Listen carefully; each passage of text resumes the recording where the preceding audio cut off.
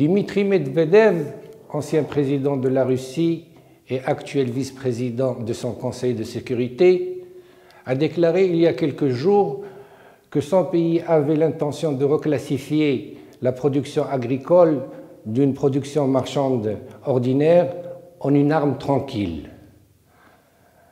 C'est une manière d'acter une décision qui a été prise déjà bien longtemps par la Russie. Cela peut remonter à 2007, lors d'un discours célèbre qui énonçait une nouvelle doctrine de la Russie par Vladimir Poutine à Munich.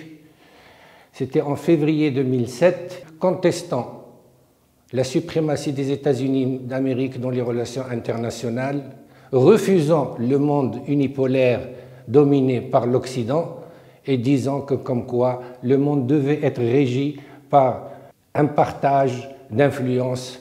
Cette euh, approche de considérer l'agriculture et essentiellement le blé comme une arme tranquille suite à ce discours. La Russie avait revu sa politique agricole, elle avait aussi commencé à mieux exploiter ces plaines du sud-ouest de son pays, celles qui sont limitrophes à l'Ukraine. Donc ce n'est pas une politique nouvelle. Elle a commencé en 2007, 2014 l'embargo, et puis les choses ont évolué. La Russie est devenue le premier exportateur mondial de blé avec 20% des exportations mondiales. À côté de l'arme tranquille, le blé, la Russie dispose bien sûr du gaz et du pétrole. Autre arme qu'on entend utiliser pour toujours contester la prédominance des États-Unis d'Amérique dans les relations internationales. La Russie a-t-elle réellement à travers le blé la possibilité d'influer sur le marché mondial de cet engrais combien nécessaire. Actuellement, la Russie exporte 20% de la production mondiale de blé. Si nous cumulons sa production avec celle de l'Ukraine, c'est 30% des exportations mondiales du blé qui sont en jeu. Il y a d'autres producteurs, bien sûr. Il y a les États-Unis d'Amérique, exportateurs nets, Canada, France. L'hémisphère nord cumule à lui seul 80% de la production mondiale, ô combien nécessaire. Et c'est une production mondiale qui n'est pas élastique. Elle ne peut pas être multipliée à l'envie. C'est une production mondiale qui, somme toute, répond à la demande mondiale et quelquefois la demande dépasse la production ou l'offre. Pas plus tard que cette année, il y a la Chine qui connaît la pire récolte en céréales de son histoire. Un homme politique français avait dit que les ennuis, pour le paraphraser, se déplacent en escadrille. Cette année est une année difficile pour tout le monde. L'Afrique du Nord, le Moyen-Orient est touché. Pourquoi? Parce que la Russie est un fournisseur essentiel de cette zone. Et cette zone, surtout l'Afrique du Nord, est un gros consommateur de céréales et de blé russe. Ce n'est pas le cas du Maroc, mais c'est le cas de l'Égypte, premier importateur en Afrique, suivi du deuxième importateur qui est l'Algérie. Deux grands marchés pour, pour ce pays. Mais l'impact de la situation dominante de la Russie ne se situe pas uniquement au niveau de cette offre, il se situe au niveau des prix. Et les prix ont évolué de manière spectaculaire, c'est-à-dire entre 130 et 470 dirhams le quintal. C'est une évolution spectaculaire, c'est une évolution qui, d'après le directeur des Nations Unies pour l'alimentation, menace de famine non plus quelques dizaines de millions de personnes, nous sommes passés de 120 millions de personnes menacées à actuellement 320 millions dans un espace de temps très court.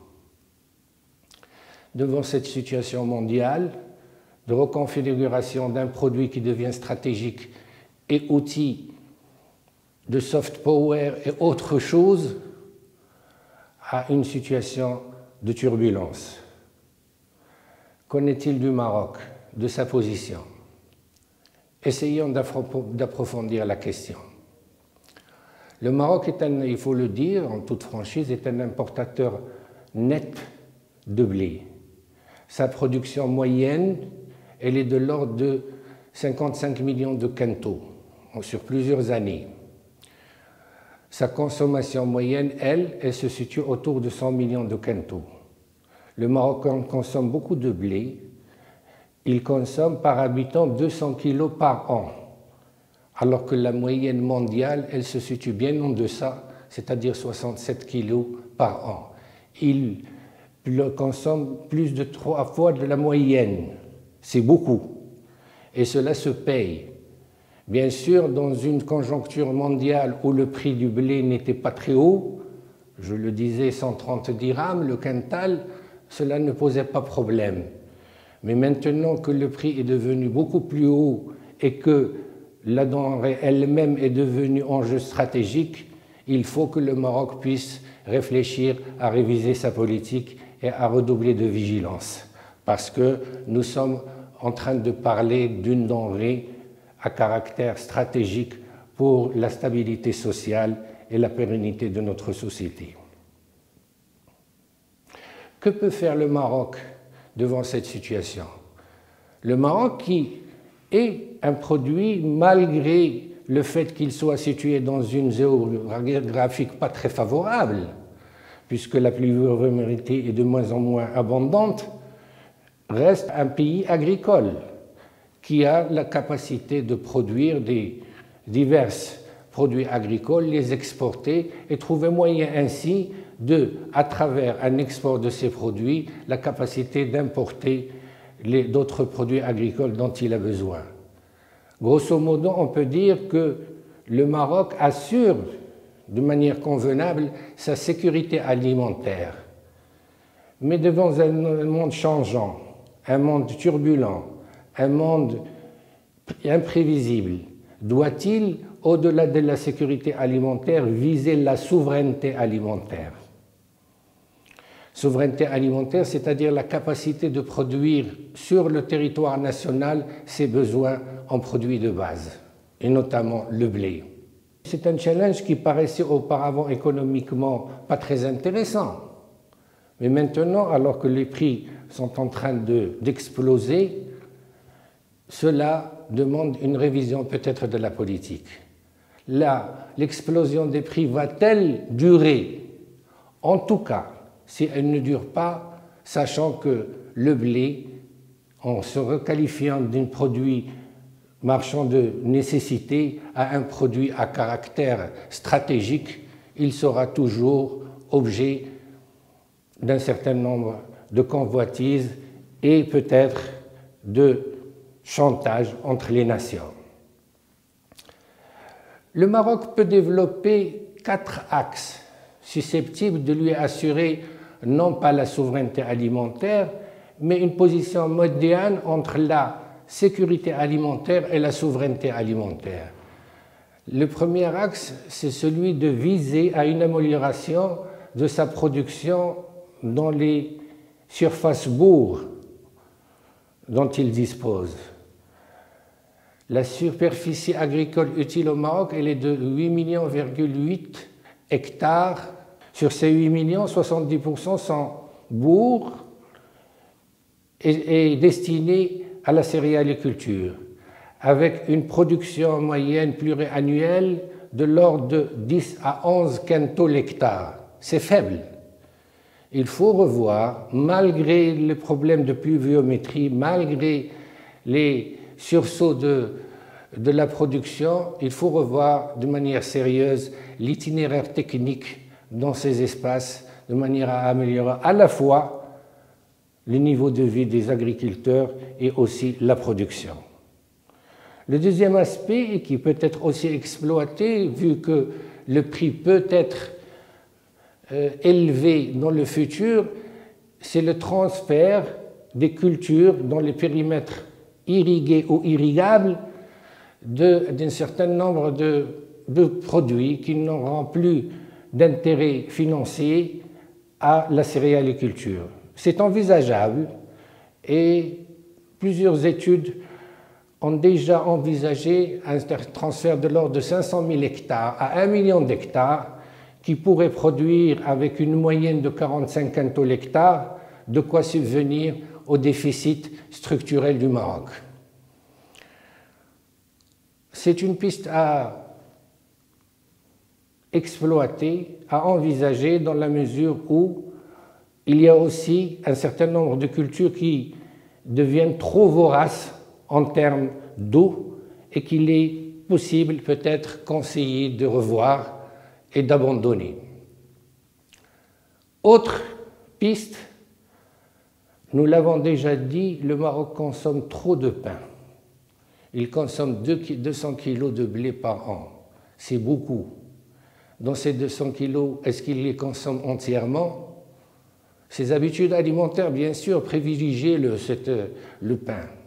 Mais il est établi que le tiers est jeté. C'est des habitudes qu'il faut essayer de revoir.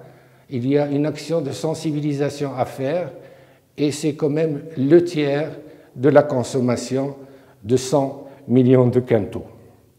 Quatrième élément, et c'est une piste qui peut-être pourrait nous aider à dépasser cette problématique, elle se fera peut-être, elle sera peut-être un élément qui nous portera vers une production plus importante de céréales, c'est le prix. Actuellement, le prix de référence au niveau national est de l'ordre de 290 dirhams. Le paysan est payé généralement entre 210 et 230 dirhams le quintal. S'il y a un effort au niveau du prix de la part de l'État, de la part de la, des consommateurs, il est incontestable que l'agriculteur sera motivé à améliorer sa production ou à reconvertir sa production vers les céréales. Tout dépend de comment va évoluer le prix au niveau international. Mais il est certain qu'après ce choc, et vu le peu d'élasticité de la production, nous allons vers une hausse durable des prix. Donc le Maroc, de l'avis de l'ensemble des analystes, est dans une situation la moins fragile des pays d'Afrique du Nord en termes de dépendance alimentaire. Il est beaucoup moins fragile que l'Égypte et beaucoup moins fragile que l'Algérie. Mais cela n'empêche qu'il doit redoubler de vigilance. Il doit mettre toutes ses forces pour que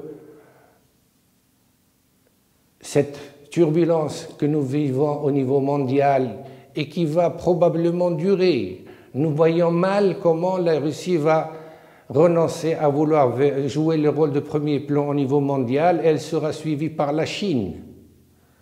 Donc, le Maroc est appelé à améliorer sa productivité agricole, sa production agricole, revoir peut-être sa politique de l'eau en fonction aussi de ses besoins, de manière à ce qu'il puisse assurer une pérennité et une stabilité sociale à ce pays que nous aimons tant.